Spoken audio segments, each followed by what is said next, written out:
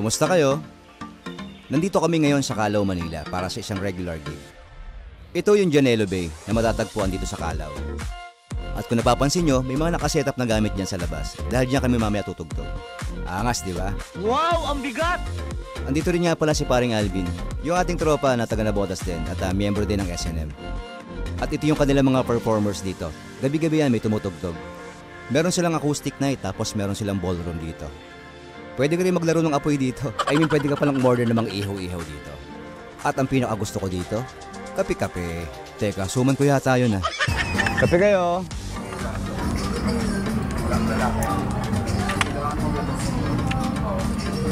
Ito masarap dito sa Janelo. Yung kape, tsaka yung suman. Masarap kaya ng suman dito. Pani, kape coffee mo. Yay! Ayaw mo kuman? Ah, Nakapirma yan kay Val. Wala, ayaw na nga. Gagalawin. Ah, Nakain na namin. sa amin nga, kinain namin, namiss namin. Namiss namin to eh. hindi nga ayos eh. Alam nyo nga kanya, kinain nyo. Hmm. Matagal na kami tumutugtog dito pero hindi ko pa rin alam kung ano pangalan ng suman na to. Anong suman yan? Basta, masarap eh. Sa probinsya ko lang ito nakakain eh. Yung ganong, ano, yung ganyan lasang suman. Oo, yung suman yun. Alam ko na, sumasaliha. Yun ang mga alam ko. Liha, magaspang yun. Yung malaki, yung mataba. Yung sumasaliha tawag ko. Baka liya. Saliha ba? Sumasaliha. Pag suman sa liha, sa, ano, sa kahoy yun. Isang libo nga. yung 120, magaspang naman. At pino lang, mga 1,000. 1,000. Para pinong-pino lang yung pagkakadaan sa lalamunan mo.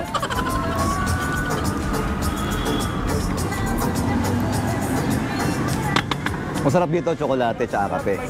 Pumusok chocolate. The best chocolate. Sabi mo sa kanila, the best dito yung tsokolate. Para pumunta sila dito. Yung chocolate pa lang, panalong panalo na. Yan.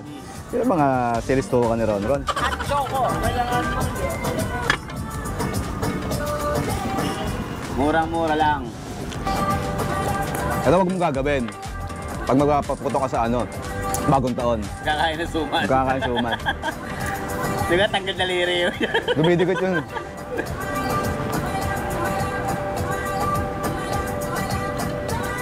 Lagkit? Langkitan.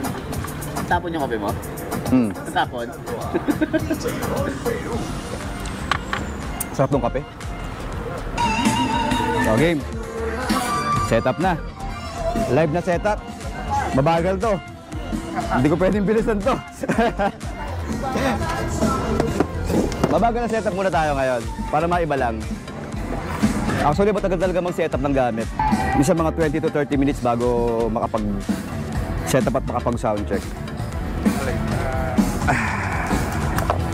Game.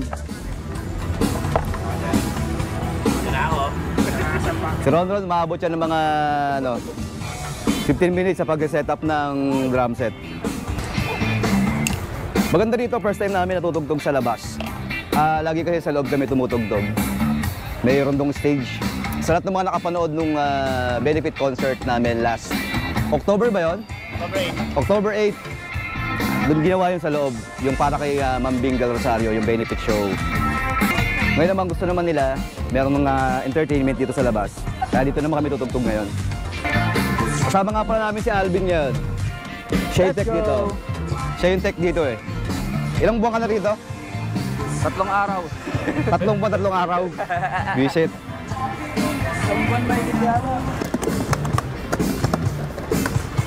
Ayan, ang unang ginagawa ko, set up muna ng effects. Ah, papunta dun sa amp kung meron man. Pag wala, diretso sa mixer sa house. Tapos, ah, yan, kapag ah, pwede na, magkoconnect na ako ng kable ng mga gitara, ng gitara. Check, check. One, two.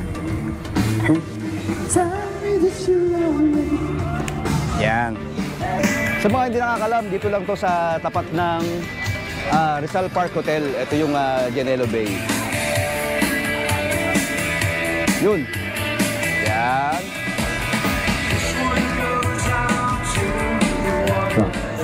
Ah, matagal na kami tumutugtog dito actually.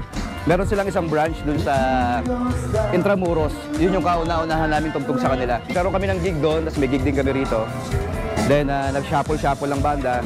Kasi ba kami. Ayun. Ngayon, tumutugtog kami ulit dito. Tapos na ako mag-setup, master lang. Ang bilis mo naman. Siyempre, Dalawang 21. mga ganyan, madali ang setup lang yan. Pinapahiya mo ako. Sabi ko, naabot ka ng mga 30 minutes eh. Mga ganong basic-basic lang eh. Basic na mga ganyan setapan. Ano? Kahit nakakaingan nga. Yun lang. Eh di tapos nang mag-setup si Ron Ron. Ay, siyempre, Si Jay na lang. si Jay na lang. Tsaka ako. si Jay, matagal talaga kumilos yan eh. Ano yung edad niyan eh. Gago. Tapos na ako, oh. Akas ako na lang. Oo, oh, ganun Jay. Kaya man gagawin dyan. Kita nyo naman, ang bilis kong mag-setup. Bilis nga mag-setup ni J-Lord. Partida, nag-setup pa ng speaker yan. Oo. Tapos na. Diba? Tutunog na. Ako na lang pala. Ako na lang pala hindi naka-setup.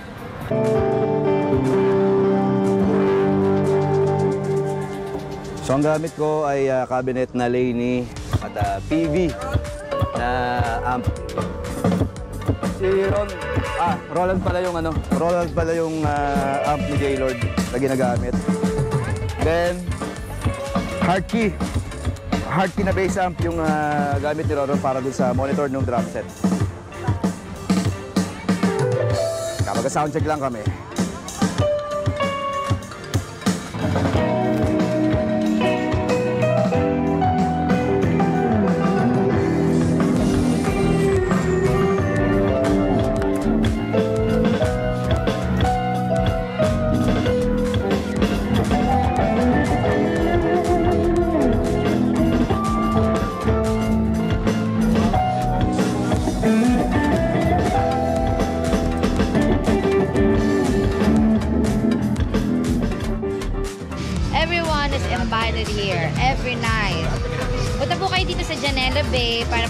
Ma-experience nyo naman yung ganda ng ambience, good service, and good server.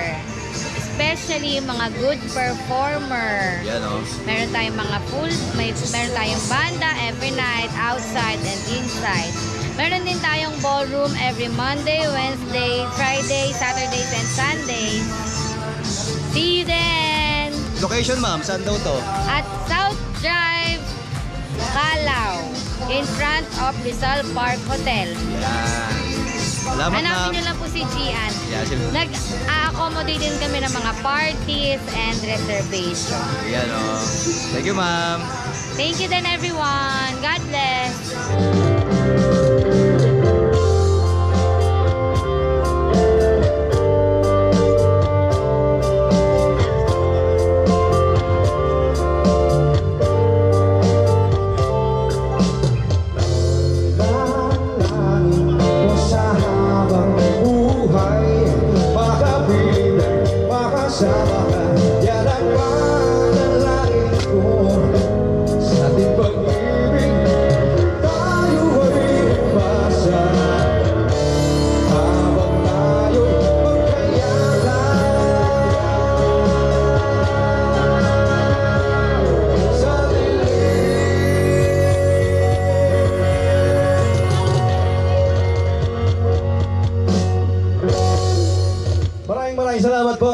Na yung aming ah, long set at ah, kakain na raw kami. Pasok tayo dito sa loob.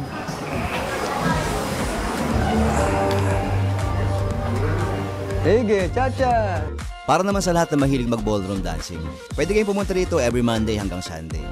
At ang pinakamaganda ron, banda yung mismong tumutugtog. Yan si Boss Jay ko, nagpapababa na lang ang kinain niyan, tapos mag-set na raw kami ulit. Ang sarap lagi ng pagkain dito, kaya lang huwag kayo may ngaya. Medyo bitin ako eh. O tara, set na. Hindi mo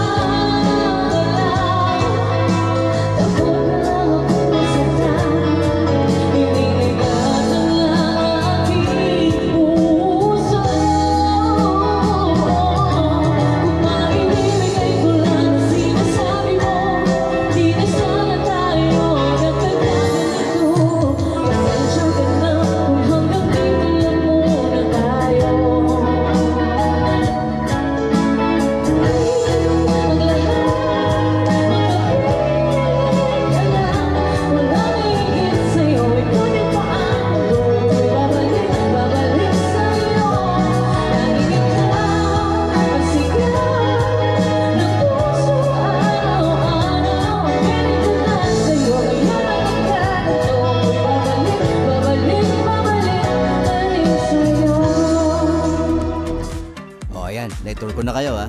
So kung nagkaplano kang gumimik at ah, nandito ka sa Manila area at kung gusto mo ng chill na lugar, masarap na pagkain at magandang tugtugan. Kaya kita-kits tayo tuwing biyernes dito lang sa Janelo Bay.